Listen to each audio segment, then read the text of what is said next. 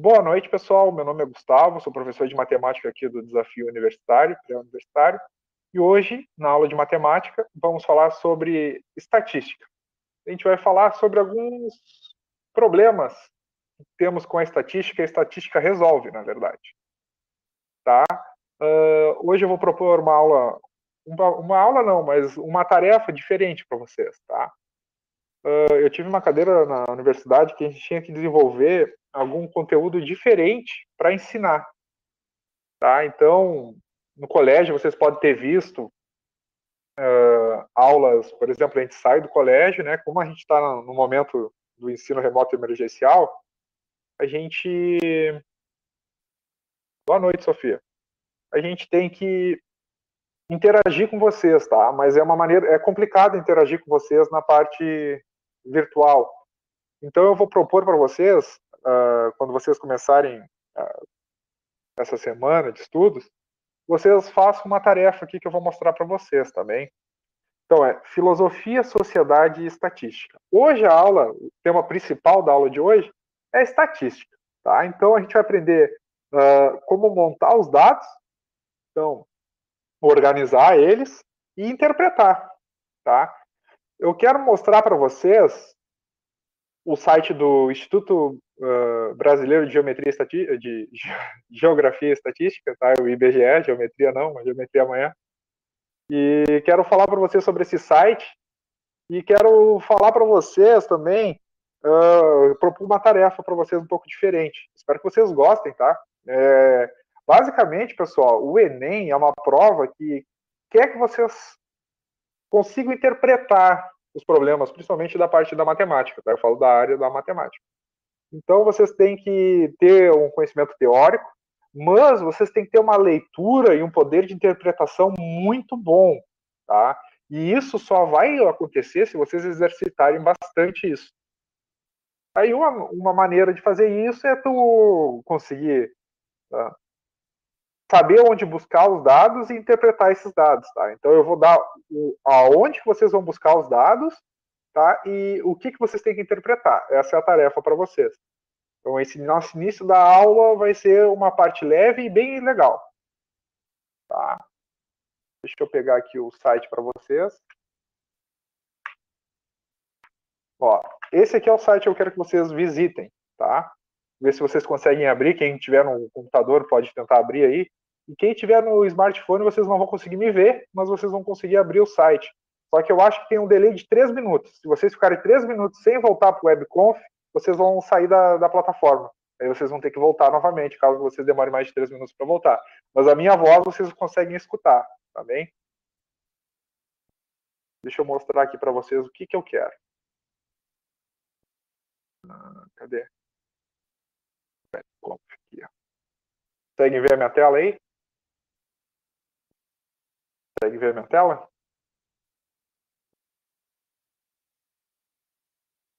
Acredito que isso aqui vai ser um pouquinho diferente para vocês. Não sei, não sei se vocês.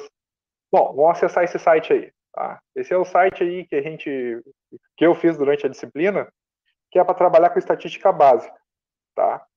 Então a ideia aqui, ó, você é um pesquisador, tá? Você é um pesquisador e eu quero que vocês estudem a parte de tudo que tem na estatística, tá? Parte básica de tudo, toda a base da estatística. Então vocês vão entrar nesse site aqui, vocês vão clicar em introdução. O nome dessa metodologia é WebQuest. Então, eu vou dar alguma parte da teoria, uma parte da história da estatística, ou pode ser de qualquer outro conteúdo, mas nesse caso é estatística. E eu quero que vocês, através de uma tarefa que eu dei para vocês, vocês realizem essa tarefa. Tá? A tarefa é em grupo, é em grupo. Mas, se vocês quiserem trabalhar sozinhos, podem trabalhar. É uma tarefa bem legal, pessoal, bem legal. Não sei se vocês já tiveram contato com o site do IBGE, mas é muito show, é muito show. Tá. Então, vocês, inicialmente, vocês vão entrar nessa página aqui, se vocês estão vendo direitinho, vão vir em introdução. E vamos ler com calma. Importância da estatística para o processo de conhecimento e tomada de decisão. Aí vocês vão ler sobre a estatística aqui, vão ver sobre alguns dados aqui. Uh, se vocês olharem aqui na minha barra aqui, né, vocês vão ver alguns bancos de dados aqui, tipo da prefeitura, do site da prefeitura, uh, algumas coisas aqui relacionadas, eu trabalho bastante com ciência de dados, tá? Essa é uma área da matemática. Apesar de fazer matemática, na parte da especialização que a gente tem dentro da matemática, a gente vai para esse lado aí, se chama matemática aplicada, tá? Então eu gosto muito de estatística, tá, pessoal? Principalmente porque ela resolve muitos problemas que eu tenho. Então, é importante vocês tentarem fazer essa atividade aqui, é bem legal, sabe? É bem legal. Por que, que eu falo que é bem legal? Porque vocês vão trabalhar com dados maciços. Então, não sei se vocês fizeram. É como se fosse um trabalho para o colégio. Tá. E o objetivo, o objetivo é que vocês façam esse, esse a, a tarefa está aqui, ó. Esse aqui é o objetivo. Então vocês vão ver, o site é animado aqui, tem a, o percentual de área coberta, né? Área verde coberta nas cidades. Então tem o, a evolução aqui através de um gráfico de imagem aqui, é um GIF, né? Tu coloca várias imagens em cima um da outra e vai gerando esse gráfico bonitão aqui. Ah, não fui eu que fiz, tá? Maps e biomas, mas eu coloco dentro do site e fica assim. Tá? Então eu vou ler a atividade para vocês. Sejam bem-vindos, pesquisadores. Estamos procurando profissionais como vocês, pessoas com jovialidade, energia e muita disposição de ajudar nosso país é extremamente importante, pessoal, vocês conseguirem entender a estatística que é passada para vocês, tá? Entender a diferença do censo para uma amostragem, tá? O censo, ele vai estudar cada pessoa de uma população, e essa amostragem, ela pega uma parte da população que quer representar um todo. Então é bem diferente o censo, por isso que é muito difícil conseguir fazer um censo. Tá? Estamos precisando de pesquisadores para reunir a maior quantidade de dados possíveis uma das partes da estatística é tu conseguir organizar os dados. Tá? Então vocês vão ter os dados ali vocês têm que organizar eles. Ah, mas como é que organiza? Vai depender da pessoa que está fazendo o serviço, vai depender do para que, que você está fazendo o serviço. Por exemplo, uh, tem o gráfico aqui, ó, esse gráfico. Ele organizou os dados, que é o que? É a área uh, percentual de área da cidade coberta por vegetação nativa. Tá? E ele organizou esse gráfico por percentual da coberta por vegetação e pelo ano. Tá? Uh, vocês notarem aqui, tem a área perdida também. Ainda tem o, a taxa com relação à Alemanha, então faço taxas relações a outros países. Então, isso é a organização dos dados. Tá? Então, dentro da estatística, vocês têm esse tipo de organização. Uh, por isso que eu preciso que vocês trabalhem nesse tipo de serviço aqui para entender a parte da estatística. Pessoal, se vocês fizerem, tirarem uma tarde para fazer essa tarefa aqui, vocês vão gostar um monte de estatística. Tá? Porque vocês vão poder estudar a região que vocês moram. Tá? Se vocês moram aqui em Pelotas, vocês vão poder estudar diversos dados com relação ao município de vocês, que vocês não faziam nem ideia que já tinha catalogado esse tipo de, de, de dados. Então, hoje iremos trabalhar com os dados divulgados e obtidos pelo IBGE, mas o que é o IBGE? É, o IBGE é o Instituto Brasileiro de Geografia e Estatística, e se constitui no principal provedor de dados e informações do país, que atende às necessidades dos mais diversos segmentos da sociedade, bem como dos órgãos das esferas governamentais, federais, estaduais e municipais. Tá? Pessoal, o IBGE é extremamente importante para que vocês consigam entender a maioria dos investimentos que tem no país. Então, vocês tiverem uma região, assim, o governo quer lançar um projeto diferente. Por exemplo, ele quer investir nas cidades que têm a menor é, área de vegetação por, por habitante. Quer investir nessa parte para fazer uma revitalização da cidade, na parte da ambiental.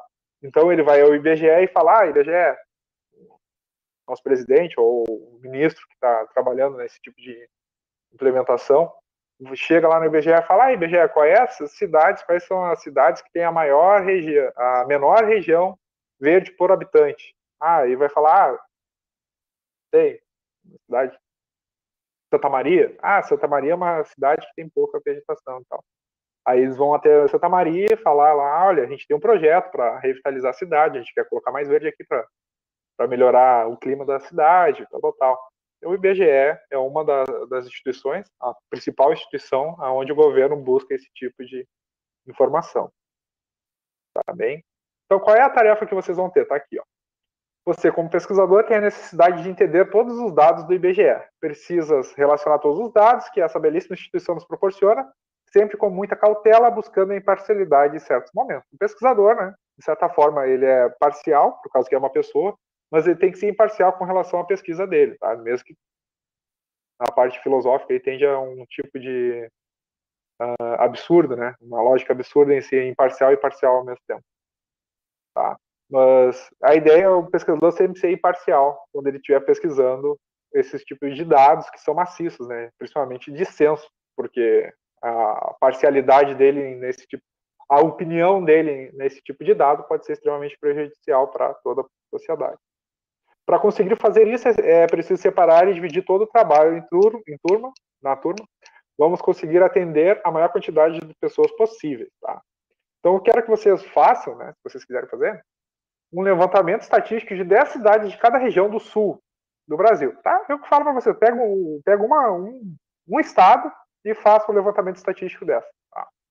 Então, eu quero que vocês encontrem as cinco maiores cidades e as cinco menores cidades da, do, da, do estado que vocês quiserem. Tá? Eu quero que vocês busquem a área territorial das cinco e, das, e das, das cinco menores e das cinco maiores. Vocês vão se impressionar com isso aqui. E talvez aqui no, no Rio Grande do Sul vocês pensem que Porto Alegre é a maior cidade, mas vocês vão se enganar. Se é isso que vocês pensam. Uh, vocês vão ter que encontrar a população estimada de cada uma das cinco cidades. Vocês vão ter que buscar o que, que é o IDHM, né, o Índice de Desenvolvimento Municipal. Tá? Montar uma tabela com maior IDHM, por causa que IDHM, IDHM é relacionado ao município. Tá? Pesquisar qual a escolarização de 6 a 14 anos, montar um gráfico de barras de, de 40% até 100% da escolarização. Se vocês fizerem isso, vocês vão ficar craque. Se vocês tiverem dúvida, por favor, né? A gente monta aí uma, uma webconferência e eu converso com vocês. Isso é importante, vocês até para a parte de questionamento que vocês vão ter como cidadãos, cidadãos.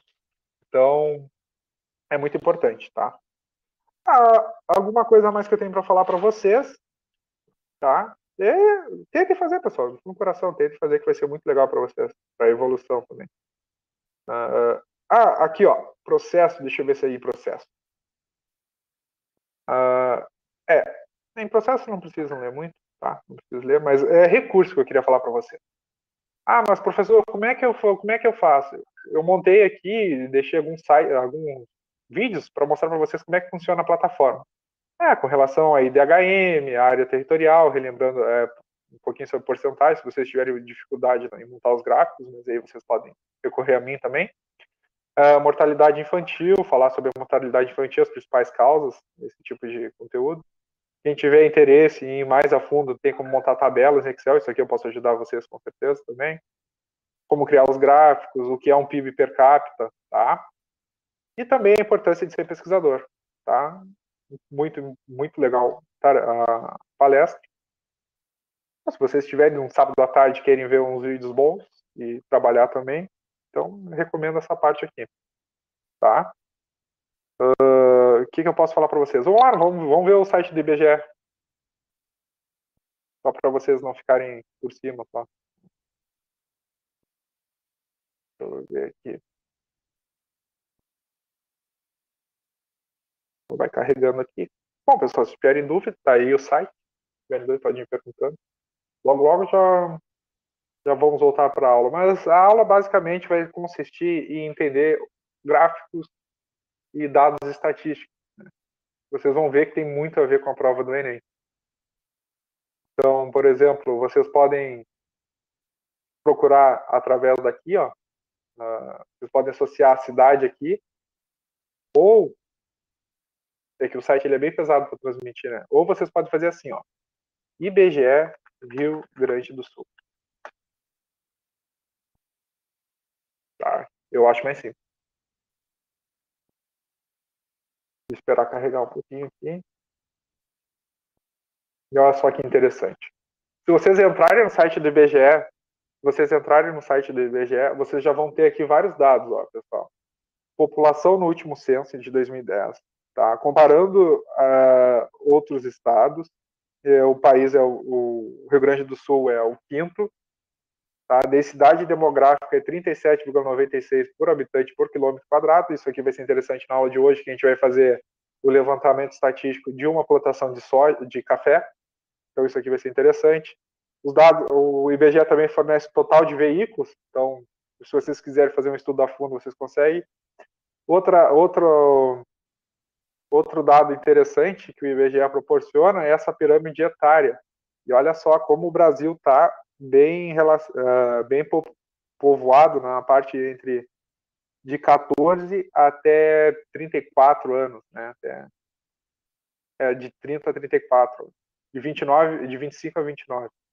Então, a grande parte da população se concentra nessa parte aqui. É uma população nova, né, pessoal? Então, isso aqui leva em conta, isso aqui leva em conta o censo, né? O censo que é feito que dá esse tipo de informação para nós. É, eu perguntei para você sobre taxa de, taxa de natalidade, né, o INDEB também tem matrículas em escolas, trabalho e rendimento, então rendimento nominal, tá? Pessoas que trabalham até 16 anos, é, a partir dos 16 anos. Então, como vocês podem ver, a estatística vai ser bem importante para vocês uh, terem opiniões uh, bem informadas, tá? E. Ah, mas por que o professor está falando tanto sobre o IBGE e tal? Porque, pessoal, na hora da prova de vocês, vocês podem ler com mais tranquilidade se vocês tiverem conteúdo ali junto. Então, ah, uma, o professor uma vez estava abrindo o site lá e eu bah, me lembrei que o índice de desenvolvimento humano ele fica entre 0,6 e 1. É, é, normalmente o índice de desenvolvimento humano é, é isso mesmo, 0,7 é, 0,746. Aí, ah, mas tá, o professor falou que é isso. E aí, pessoal, na hora que vocês estiverem fazendo a prova, vocês vão ficar mais tranquilos, porque quando vocês verem a informação que vocês já trabalharam, vocês tendem a ficar mais tranquilo para resolver a prova. Tá? Então é isso, pessoal. Vocês quiserem fazer, tá aqui o, o site do IBGE. É tudo, é bem simples, tá? Não dificultei. Tem um monte de coisa lá? Ah, tem, mas é tudo vocês irem folheando aqui a cidade procurando. É bem interessante recomendo, né? O site do IBGE para fazer a pesquisa. Se vocês tiverem outro site, vende, por favor. Então, então, obrigado, Carolina. Obrigado. Então vamos lá, então, vamos para a parte da, da aula de hoje. Tá, vamos lá, vamos, vamos trabalhar um pouco, vamos trabalhar. Uh, trabalhar onde? Onde que a gente vai trabalhar? Aqui gente vai trabalhar aqui. Estão vendo então? Iniciar a apresentação. É isso aí. Então, vamos falar sobre estatística. Deixa eu só voltar aqui, que aí eu consigo me ver melhor. Vamos falar sobre estatística. Basicamente, vamos trabalhar as questões do Enem e vamos conversar sobre. Tá? A gente já falou bastante sobre como é importante a estatística e como vocês podem buscar informações sobre isso. Então, Enem 2018. Sabe-se que nesse tipo de comunicação visual, comum em páginas de internet, o tamanho da, das letras está diretamente associado ao número de vezes que o assunto ou termo foi pesquisado ou lido naquela página. Então, se vocês estiverem montando um site, tá? diversos aplicativos têm para montar site hoje em dia. Por exemplo, aquele aplicativo ali que eu usei é o Google Sites. Ele é ele é free, monta ele, todo mundo tem acesso, tá? Também não tem como ganhar dinheiro em cima dele também. Mas é bom para vocês montarem algum tipo de um blog que vocês queiram, ou algo do tipo. Não sei se vocês estão, gostam de blog, mas é uma maneira de montar o blog. Uh, essa é uma maneira de descrever, então. Aí o site vai ter uma estatística lá na, na, direita, que vai ser a quantidade de palavras que estão sendo geradas do teu site, ou quantidade de palavras que está sendo gerado nos comentários sobre os assuntos do teu site. Tá? Dessa forma, quanto maior o tamanho das letras de cada palavra, maior será o número de vezes que esse tema foi pesquisado. De acordo com a figura, quais são, em ordem decrescente, os três assuntos que mais interessaram as pessoas que acessaram a página? Aí já vem uma parte inicial da estatística. Vocês compreenderam o que, que a pergunta está fazendo? Qual é a pergunta? Que tipo de pergunta é? O que, que ela está querendo? Tá? Ela está sendo bem objetiva. Ela quer em ordem decrescente. Tá? O que, que seria em ordem decrescente? Então a gente vai botar três números. É, um, dois e três. Tá? Isso está em ordem crescente ou ordem decrescente? Um, dois e três. Alguém pode me dizer? Um, dois e três. Está em ordem crescente ou decrescente? Crescente, perfeito. Por quê? Por que está em, em forma crescente? Por causa que a gente vai pegar o próximo termo menos o segundo tem que ser maior que um. Então é uma forma decrescente, é, crescente. Então, sempre quando vocês forem trabalhar falando, ah, é crescente, vocês têm que verificar uma variação que vai ter. Tá. Mas o que, que isso tem a ver, professor? Bom, isso tem a ver que o primeiro raciocínio que vocês têm que ter nessa questão é interpretar que ela quer de ordem decrescente. Então, 3, 2, 1 é a ordem, tá? 3, 2, 1. Então, do maior para o menor. Além disso, vocês têm que conseguir visualizar uh, o que, que ela está pedindo. Então, se vocês saíssem procurando palavras que estão em sequência ali, que tem maior quantidade, não, né, pessoal? É a maior palavra. Qual é a maior palavra que tem ali? Gostaria. Qual é a maior palavra que tem ali? Amor. Perfeito. E o que, que significa, então? E o que, que significa? Já que amor é a maior palavra que tem, que foi a mais pesquisada. Isso mesmo. Perfeito. Então, amor, ela vai ter que estar tá na primeira posição ou na última posição? Já que ela foi a mais pesquisada. Em ordem decrescente. Então, por ordem decrescente com relação a, a seria a primeira, por causa que já que não vai ter nenhuma maior que ela, amor teria que ser a maior palavra, tá? Então, se vocês quiserem ver melhor aqui, já que amor é a maior palavra, ela teria que estar em ordem é, decrescente. Teria que estar em primeiro. Aí vem, vem a pegadinha da questão lá do Enem, tá? Enem 2018. Ela coloca amor, baladas e música ou amor, música e baladas. Qual é a segunda palavra, pessoal? Qual é a segunda palavra? Observem assim, ó. Qual é a segunda palavra? Seria a segunda maior palavra.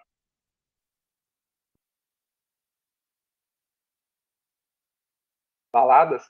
Perfeito, perfeito. Então, balada seria a palavra do meio. Aí vocês matariam a questão já. Então, baladas é a, a, a palavra que foi uh, mais pesquisada do que música e menos pesquisada do que amor. Então, ela estaria no meio e feito carrete tá? conseguiriam ter matado essa questão. É, bem simples, tá? Para a gente começar bem tranquilo. Então a questão certa seria a letra, não tem letra, né? Não botei letra, mas é, é essa questão aqui: amor, baladas e música. Então é isso.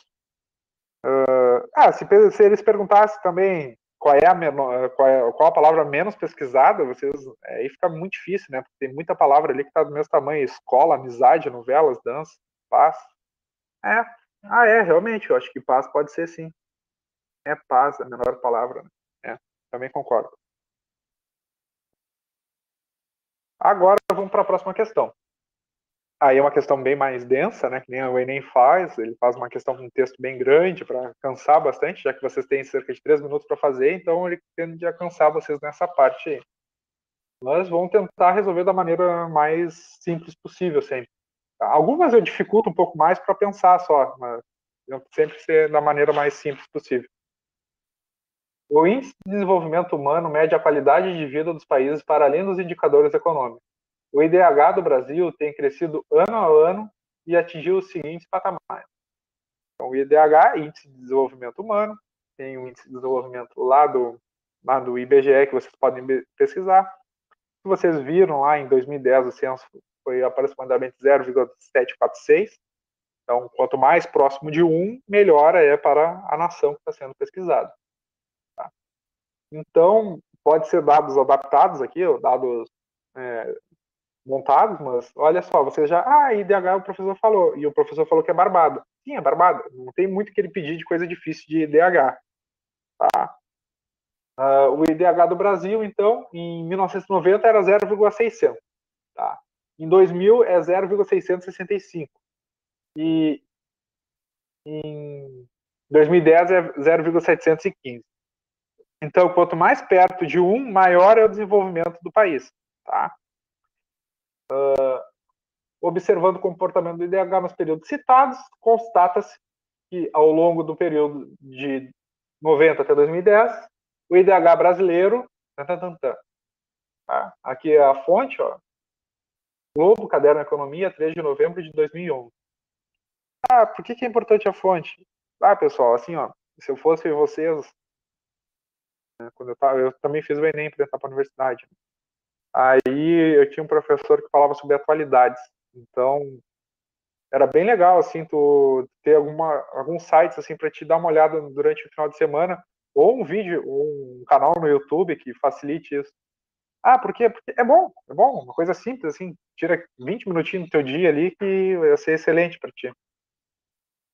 Então, quais são as opções? Diminui com variações decenais crescentes, decenais a cada 10 anos, tá? Decenais, decenais, tá? a cada 10 anos. Uh, diminui em proporção direta com o tempo, diminui em proporção direta com o tempo, aumentou com variações decenais decrescentes, aumentou em proporção direta com o tempo, aumentou em proporção inversa com o tempo. Então, podem tentar fazer, tá? Fiquem à vontade de tentar fazer. Eu vou falando aqui, mas fiquem, fiquem aí, não fujam, não fujam. Letra D, aumentou em proporção direta com o tempo. Já temos um letra D também. Ó, letra D, C. Isso aí, pessoal. Isso aí. Isso aí. Confesso que eu não vou falar o resultado, tá? Eu não vou falar o resultado, mas dentre as opções alguém acertou, tá? Vou deixar deixar a expectativa para ninguém sair, ninguém trocar trocar de canal, tá? Então, dentro das opções alguém acertou. É a maioria? Não sei. Tá? Mas observem aqui, ó. 0,600, depois para 2000 foi 0,665 e para 2010 foi 0,715. Ou seja, aumentou, né? O IDH em todos eles aumentou. Então a letra A e a letra B não tem. Não tem como acontecer a letra A e a letra B. Nos resta a letra C, a letra D e a letra E. Bem? Deixa eu ver o que eu fiz aqui. Tá. Uh, então, em 1990 era 600, 2.665, tá? Em 2010, 0,715, tá? Então, o que, que, é uma variação? Vocês têm o conceito de variação, de uh, conceito relacionado à matemática de variação? Então, variação na matemática é uma, é uma medida, tá? E o cálculo dela é feito assim, ó, o depois menos o antes tá? Olha só. Então, seria, por exemplo, uh, em 2000, o IDH era 665, tá? Em 1990 era 600. O que que vem uh, depois de 1990? Seria 0,665, tá? Menos 0,600, tá? Isso é uma variação. Ah, pera aí que eu botei bonitinho aqui. Primeiramente, me esqueci, fiz essa animação aqui, me esqueci de falar. As que estão em vermelho estão errado normalmente nos meus slides, tá? Então, a A e B, vamos riscar da nossa, da nossa parte. O que é interessante na parte da estatística é que antes vocês tinham 20% de chance de acertar essa questão, correto? 20% de chance. Então, cinco alternativas, 100%. Então, 20% de chance, tá? Agora vocês diminuíram, né? diminuíram aumenta, quer dizer, aumentaram a quantidade de chances de acertar a, esse tipo de questão. Vocês agora têm 33,33% de chance de acertar essa questão. Está aumentando, tá? Aumentando. Então já estão quase passando já. De 20, aumentamos 13%, tá? Então, o que é uma variação, então, tá, pessoal? A, a variação ela é medida dessa forma assim, ó o depois menos o antes, como eu estava falando para vocês. Então, o que, que é isso? O que, que vem. A gente está medindo é, décadas, né? Então, 1990, 2000. Tá? Então, a gente vai pegar o IDH de 2000 menos o IDH de 1990. Aí a gente vai ter essa variação. E aí, depois a gente vai ver o comportamento dessa variação também em 2010. Como é que a gente vai fazer em 2010? O IDH de 2010 menos IDH do ano 2000. E aí a gente vai ver essa, vai verificar se a letra C está correta. Tá? Se ela estiver correta, ok. Se não, paciência, vamos para a próxima. Mas, então vocês têm que seguir uma sequência ali. Então, qual é a variação, então, pessoal? Variação depois menos o antes. Na física, lá tu tem esse tipo de variação, que é a distância, né? A distância depois menos a distância uh, anterior, aí tu tem uma variação. Aqui é a variação dos IDHs. Então, IDH de 2010 menos IDH de 2000. Quanto é que vai dar essa diferença? 0,065. O que, que ele fala lá? São variações decimais decrescentes. Decrescentes. O que, que significa isso? Conforme uh, vai passando o ano, essa variação entre os IDHs vai diminuindo. É isso que quer dizer. É verdade? Não sei se é verdade. Tá? Então, qual a variação do IDH entre 2000 e 2010? IDH de 2010 menos IDH de 2000. Vai ser quanto? 0,05. Ou seja, com a variação entre 1990 e 2000 é menor, né? Essa variação aqui uh, é menor que essa, correto? E esse intervalo se dá de 10 em 10 anos, logo o IDH brasileiro aumentou com relação a variações decimais decrescentes. Ou seja, olha, retomando, uh, de, dois, de 1990 até 2000, variou 0,065. Depois de 2000 para 2010, 10 anos depois, diminuiu essa variação foi para 0,05. E é isso que quer dizer a alternativa C. Então, vou voltar para a alternativa C aqui, deixa eu ver. Ó. Aumentou com variações decen eh, decenais decrescentes. Tá? Anuais decenais, a cada 10 anos decrescentes. O que, que são as variações? A cada 10 anos teve uma, a gente teve três, três, uh, três, 30, é, pô, peraí que me travei, 20 anos, tá? E duas variações, tá? Porque foi, da primeira variação para a segunda diminuiu. Então, significa que foi decrescente. A alternativa certa é a letra C de, de coração. Tá? De caramba, eu amo matemática, né? O professor que fala. É, caramba, eu amo matemática. Deus livre, eu amo matemática também, que é a letra D. Uh, a letra D aumentou em proporção, proporção direta com o tempo. Vamos ver se teve essa proporção direta, analisando somente esses dados aqui. Tá? Bom, de 90 para 2000 variou 0,65. 0,065. Tá? Então, de um variou. Em 10 anos variou 0,065, mais 10 anos variou 0,05.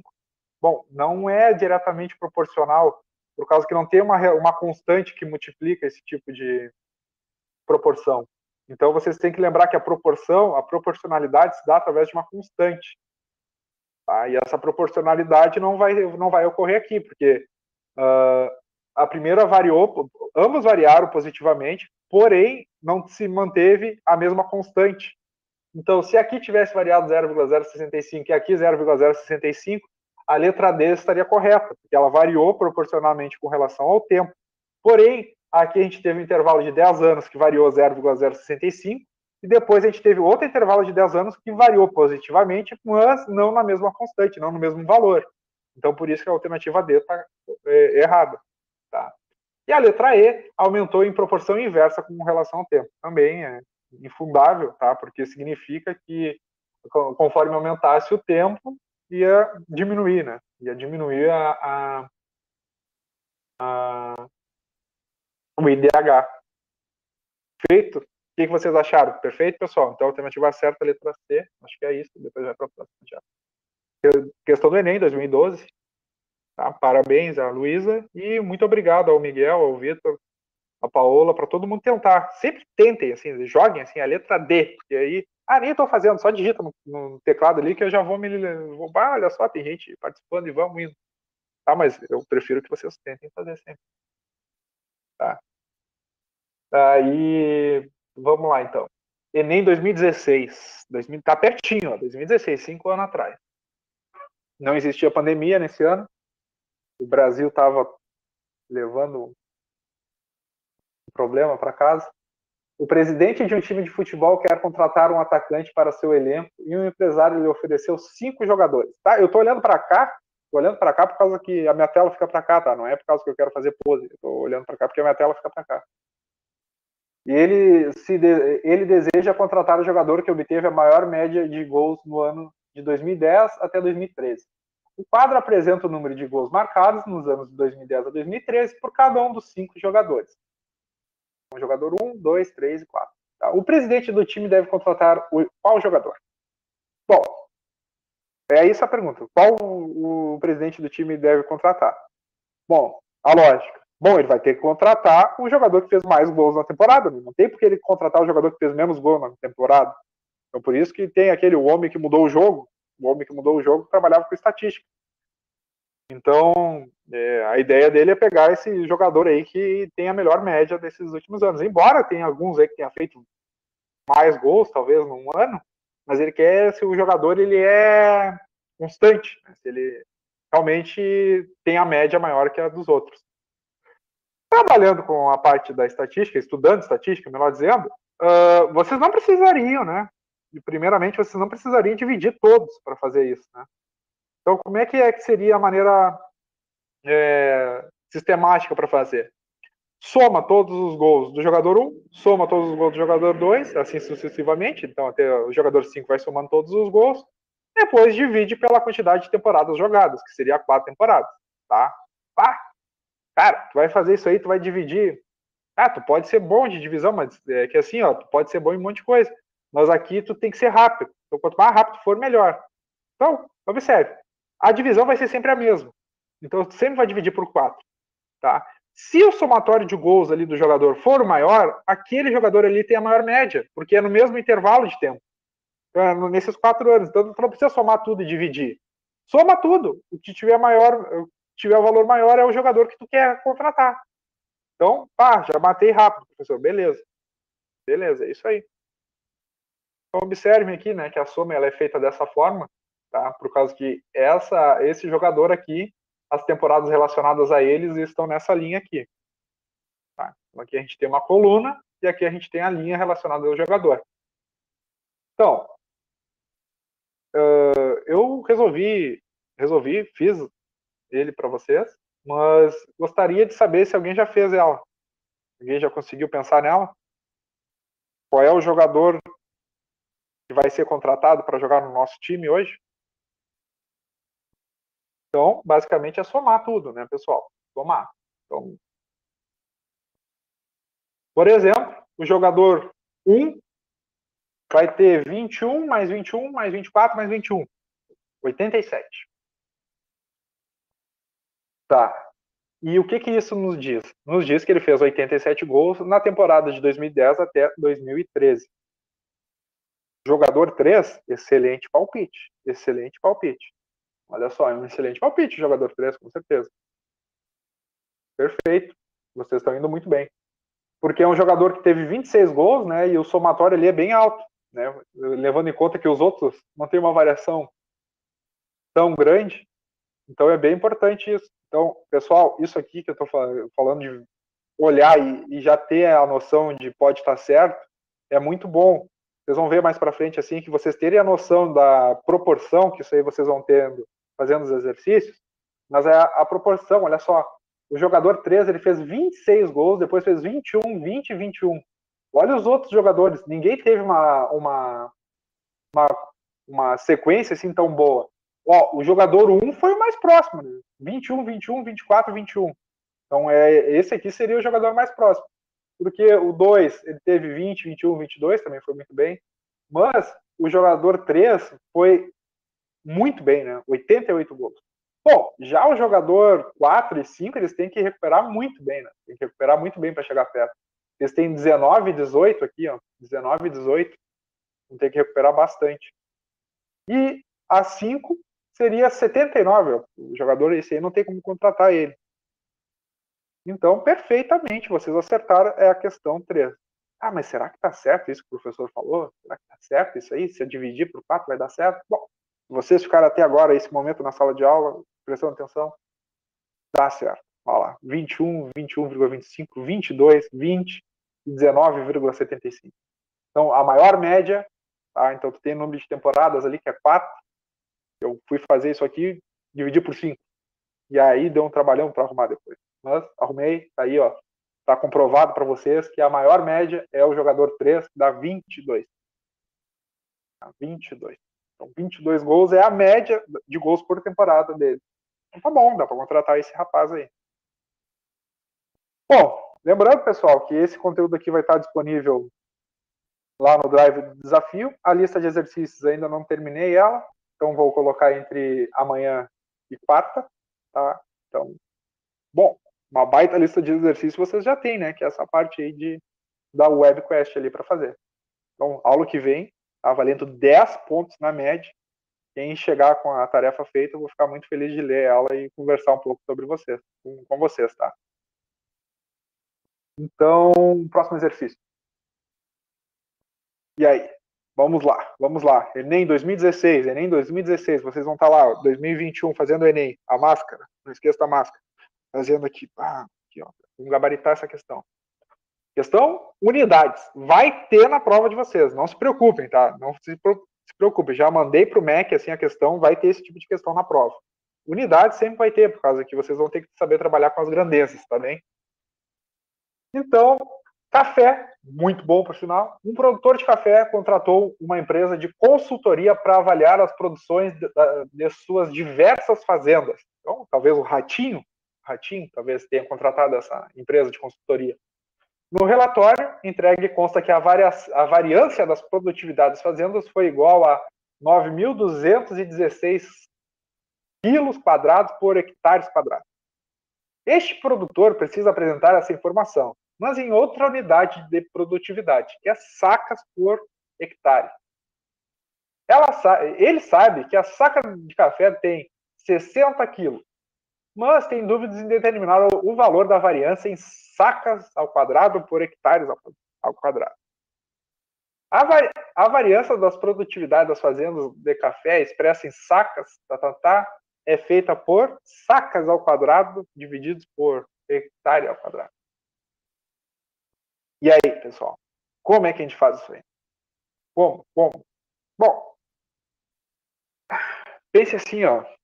Uh, tomar água aqui. Tomar água, vamos pensando, vamos pensando.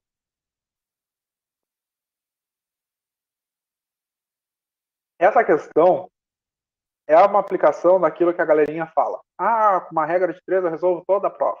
Ah, é uma mentira. Mentira. Porque como é que tu vai pegar uma regra de três? Tu pode generalizar uma técnica, mas não consegue aplicar em todo o problema. Tá, mas essa aí é uma, uma questão que tu pode resolver por regra de três. E ainda mais, regra de três simples. Regra de três simples consegue resolver esse problema. Mas a gente tem que ir, ir com cuidado para montar essa regra de três. Observe aqui, o que, que vai relacionar nossa, nossas unidades? A única unidade que a gente tem para relacionar é sacas com 60 kg de café. Então, uma saca é igual a 60 kg de café. E aí vamos trabalhando em cima dessa, dessa relação aí para montar nossa regra de três. Tá? Então, 60 quilos, tá? 60 quilos de café equivale a uma saca. Perfeito?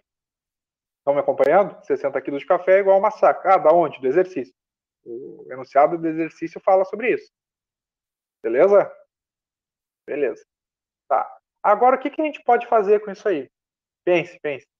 Ele quer 60 quilos, ele quer relacionar quilograma que ele tinha por hectare, tá? Com saca por hectare. Como é que a gente faz isso? Vamos multiplicar por 1 sobre hectare a gente vai ter hectare dos dois lados. Tá? Hectares dos dois lados. 60 kg por hectare e vai ser igual a saca por hectare. Ou seja, não, não mudou em nada. Então lembre, aqui ó, probleminha que vocês já tiveram no exercício anterior. A gente tem que manter a constante de proporcionalidade. Tá? A constante de proporcionalidade. Tá? Então, como é que tu faz isso? Tu vai ter que multiplicar sempre os dois lados dessa igualdade. Lembre, isso aqui é uma regra de três, então isso aqui é uma igualdade, é uma proporção. Então, quando tu multiplica os dois lados da igualdade, tu não altera a igualdade. Tá? Tu não altera a igualdade. Então, isso aqui vocês podem fazer. Tá? O único cuidado que vocês têm que tomar é que esse valor que vocês estão multiplicando não pode ter aquelas coisas em matemáticas, em matemáticas, não matemáticas, tá? Ou seja, são aquelas, aquelas coisas, por exemplo, é, 1 sobre 0, vai multiplicar os dois lados por 1 sobre 0. Vai dar errado. Não tem uma divisão por zero na matemática. Tá? Então, o hectare é uma unidade, então tu pode multiplicar os dois lados por hectare, tá? Feito até aqui, então multipliquei os dois lados por 1 sobre hectare e já tenho uma carinha do que eu quero fazer. Agora, o que, que ainda o exercício fala? Ele fala que ele quer relacionar saca ao quadrado por hectare ao quadrado. Hectare ao quadrado. Como é que eu vou fazer isso? Vou, vou elevar ao quadrado os dois, os dois lados, pessoal. Perfeito, perfeito. A Luísa já estava escrevendo ali falando, eleva o lado aos dois quadrados, professor. Isso aí, isso aí. Eleva os dois lados ao quadrado. Tá? Então vamos lá. Eleva os dois lados ao quadrado. Vamos ter o quê? 60 kg por hectare ao quadrado, e do outro lado a gente vai ter, é, teria que ter, né? O hectare ao quadrado ali que eu não botei, mas acho que eu vou botar aqui. Peraí. Ali, ó, tá certo. Tá? Então tu vai ter 60 ao quadrado, parei que não, minha mão não dá para ver. 60 ao quadrado, quilograma ao quadrado, divididos por hectare ao quadrado. Vai ser igual a saca ao quadrado divididos por hectare ao quadrado. Foi? Apliquei o quadrado dos dois lados. Tá? Então já chegamos na unidade que a gente queria. Lembre, lá a gente tinha 9.216 quilogramas ao quadrado por saco ao quadrado, por, por hectare ao quadrado. Olha só, 9.216 quilogramas ao quadrado por hectare ao quadrado. O que, que a gente tem aqui? 60 ao quadrado por quilograma é, quilograma ao quadrado dividido por hectare ao quadrado. Ou seja, a gente está conseguindo estabelecer a nossa regra de três, ou a proporção. Ou seja, a gente consegue estabelecer isso aqui, pessoal. É a nossa regrinha aqui, ó. A gente foi montando aqui, faz rapidinho. Ah, multiplica, multiplica, multiplica. Isso aí, perfeito. Tá, aí chegamos, tá? É isso aqui a gente vai multiplicar. Uh, a gente tem a proporção aqui, já que a gente tem a mesma unidade. Se variou daqui para cá, daqui para cá tem que variar proporcionalmente, tá? Então, deixa eu ver se eu tenho a minha canetinha aqui. Eu não sei se eu consigo riscar. Eu acho que eu não consigo. Não, não consigo riscar. Não consigo porque tem que estar o arquivo no webconf. Eu não consigo riscar. Então, basicamente, eu vou multiplicar aqui e aqui. Tá? Aqui e aqui. Vou multiplicar. Como é que eu faço isso? É isso. Tá? Um susto? Talvez um susto, mas é isso aqui. Então, tu vai ter x vezes 60 ao quadrado, quilograma ao quadrado por hectare ao quadrado vai ser igual a 9.216 por quilograma ao quadrado divididos por hectare ao quadrado vezes saco ao quadrado dividido por hectare ao quadrado. Tá? Pessoal, foi até aqui? Foi até aqui? O importante é que vocês tenham chegado aqui. Pelo menos pertinho aqui. Vocês conseguem chegar? Então a gente foi montando ali, foi montando. A gente tinha a nossa proporção, a gente dividiu para chegar numa, numa, numa unidade que a gente queira. Depois a gente elevou ao quadrado, por causa que a nossa unidade era ao quadrado. E agora a gente vai ter a, a nossa igualdade desejada. Observe aqui que a gente tem quilograma ao quadrado e quilograma ao quadrado desse lado aqui também. Conseguimos simplificar o quilograma ao quadrado pelo quilograma ao quadrado. Também a gente consegue simplificar o hectare ao quadrado. Então a gente vai ter x vezes 60 ao quadrado igual a 9.216 vezes saca ao quadrado divididos por hectare ao quadrado. Perfeitamente? Perfeitamente. O que, que isso significa? A gente vai ter isso aqui, ó. Correto? A gente vai ter 60 ao quadrado. Vamos pegar esse 60 aqui, vamos dividir 9.216 por 60 ao quadrado. E vamos ter uh, a nossa unidade desejada. Então, é essa a proporção que a gente estava procurando. Bom, ah, professor, mas na hora eu não tenho calculadora e aí vai ser um desespero. Vai ser um desespero, com certeza. Não, não vai ser por causa que não tem calculadora, tá? Mas, mas nessa parte aqui, vocês não se desesperem, tá? Por quê? Quanto é que é 60 ao quadrado? Bom, 60 ao quadrado, como é que eu faço 60 ao quadrado na hora da prova? Bom, 60 ao quadrado é 6 vezes 10, tá? 6 vezes 10, como é que eu faço? 6 vezes 10 ao quadrado. Então, eu vou ter 36 vezes 100. 36 vezes 100 é 3.600. Tá? 3.600, correto? 3.600. 9.216 divididos por 3.600. Aí vocês poderiam olhar as alternativas, que eu acho que eu não coloquei aqui, não coloquei, mas as alternativas iam ter 1,8 e 2,56. Ah, essa é a alternativa correta aqui, 2,56. Então, esse aqui é um caso que está muito perto. Na minha opinião, está muito perto. Então, vocês teriam que chegar nessas duas alternativas, entre 1,8 e 2,56. Porém, né, 1,8 1,8 é próximo de 2, né? E 3.600 vezes 2 é 7.200. Então, é muito, já é maior que 2. Então, vocês nem precisariam fazer a conta. Tá? Embora seja perto, vocês conseguem fazer o raciocínio para resolver esse tipo de questão. Perfeitamente. Vamos para a próxima questão. Tá, peraí, né? Peraí. Oi, a didática, professor. Foi até aqui, pessoal? Gostaram dessa questão? O que, que acharam? Tudo certo? Perfeito, então. Perfeito. Foi, foi. Cadê a galerinha que ficou calma? Deixa eu ver aqui. O Vitor, Sofia, o que, que vocês acharam? Ah, eu, eu falo o nome ali, não tem problema, tá? Fique tranquilo aí se quiserem resolver. Tá de boa? Ah, então tá tranquilo. Então, vamos para a próxima. Próxima vai ser mais tranquilo para a gente terminar a noite? No auge. Há quanto tempo você fica conectado na internet? Uma pergunta para você refletir. Quanto tempo você fica conectado na internet? Para responder a essa pergunta, foi criado um mini aplicativo de computador que roda na área de trabalho, para gerar automaticamente um gráfico de setores, mapeando o tempo que uma pessoa acessa cinco, cinco sites visitados. Em um computador, foi observado que houve um aumento significativo do tempo de acesso da sexta-feira para o sábado. Sim, é, não está fazendo nada rápido, acessa a internet. Nos sites, nos cinco sites mais acessados, a seguir temos os dados dos mini aplicativos para esses dias. Eu acho que eu aumentei aqui. É a mesma coisa que está lá, tá? Só aumentei aqui para ficar melhor para vocês verem. Então, o site X, o site Y, o site Z, o site W, o site U, o site U aqui, então. Uh, analisando os gráficos do computador, a maior taxa de aumento que, que mais aumentou, né, o que teve o aumento relativo maior, a taxa de aumento é um aumento relativo. Tá? A maior taxa de aumento no tempo de acesso da sexta-feira para o sábado foi no site. Observe aqui, tá? Observe. Do site. Vamos ver se vocês conseguem comigo matar essa questão. Direto, assim, no olho, no olho. Observe que o site Y aqui aumentou bruscamente, né? foi para 51. O site Z não teve quase variação, não teve quase nenhuma taxa, né? porque foi de 10 para 11, não teve muito. Assim. Embora que ele seja um site pequeno, né? seja um valor pequeno e aumentou 10%, né? de 10 para 11 aumentou 10%, mas observe aqui, o site X aumentou de 12 para 21. Então, quase o dobro do site ele aumentou. Então, o, o acesso aumentou quase o dobro. O site U aumentou de 40 para 56, aumentou 16, mas olha, proporcionalmente ali, né, ele não aumentou quase nada. Né? Quer dizer, aumentou uma significância boa, mas perto do site X não chega perto. E o site W aumentou de 38 para 57.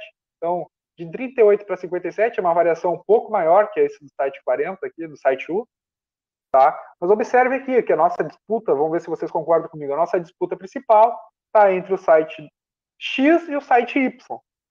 Vocês conseguem chegar nessa parte aqui comigo? Está entre o site X e o site Y, porque o site X ele quase dobrou, e o site Y ele foi de 30 para 51. Então aumentou 21 aqui, aumentou 21. Aqui foi de 40 para 56, aumentou 16, e aqui de 38 para 57 aumentou 19. Correto? Então, vamos pensar assim, ó, tá entre o site X e o site Y. Tá? É assim que se faz essa questão, pessoal. Tá? Mas vocês podem. Ah, professor, assim na hora eu me confundo. Não tem problema, eu abri tudo aqui para vocês. Tá? Mas vocês vão perder tempo aqui. Não, não precisa perder tanto tempo nessa questão aqui. Tá? O site X foi de 12 para 21, então a taxa é 21 sobre 12, então depois divididos pelo antes, 21 divididos por 12. A taxa do Y foi de 51 por 30, então 51 por 30. Então, foi essas duas aqui que foram que tiveram a maior taxa, assim, visualmente, tu vai ter que calcular. Mas aí tu vai perceber que 21 sobre 12 é maior do que 51 sobre 30, tá bem? Ah, professor, na hora da prova tem que calcular? Cara, não necessariamente, não necessariamente. Se tu consegue ver ali direto, não vai ter, ah, uh, não, vai, não é dissertativa a prova. Então, se tu consegue ver, só vai, marca e tranquilo. Mas, o que, que eu peço para vocês, que antes da preparação da prova, vocês visualizem mentalmente. Que não tem que, na hora da prova, chegar no chutômetro, né? Então, tipo, visualiza assim, ah, então o professor falou sobre 21 sobre 12. Então, eu vou calcular isso aí, calcula, isso aí, calcula. O U é 40 sobre 56, o W é 57 sobre 38 e o Z é muito pequeno, né? 11 sobre 10. Fazendo essas divisões aí, que não precisa fazer, ficaria entre o X e o Y, vocês iam perceber que o X é bem maior que o Y. É, quer dizer, bem maior, exagerei, né? É maior que o Y. Então é isso, ó. 1,74 é o X, 1,7 é o Y, as outras são bem menores, 0,7, 1,5 e 1,1. Feito então, pessoal? Era essa a questão. Espero que vocês tenham gostado da questão. Complicada, tudo tranquilo? Conseguiram fazer?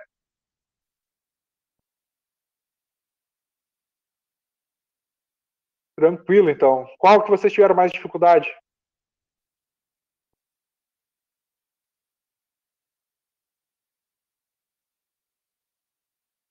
Qual? Uh, fizeram a lista, pessoal? Alguém fez? O Vitor falou que fez ali, mas alguém fez? Não tem, pode só para mim. Bom, quem, quem, falar, quem não falar nada, eu vou entender que não fizeram. Então, é, mas, tentem fazer a lista lá. Uh, principalmente que a gente vai ter o simulado, então o simulado é bem. É, não, não vai ser tão parecido, não. Tá? Mas vai ser bom vocês fazerem aquela, aquelas questões. O que, que é bom? Porque vai ser o resuminho ali do Enem, tá? Então, boa noite a todos, uma boa semana. E próxima aula, tanana. Segunda-feira que vem é estatística, variância, desvio padrão e análise de gráficos. Tá? Próxima aula, então, fiquem atentos, bastante cálculo, bastante informação, vai ser excelente, tá? Muito obrigado, pessoal, uma boa semana para vocês, obrigado, Luísa, obrigado, Vitor, obrigado a Paola, tá? Venham, continuem com nós que vai dar certo, tudo vai dar certo, vocês vão conseguir chegar no objetivo de vocês, tá? Tenho certeza, tenho certeza disso, tenho certeza.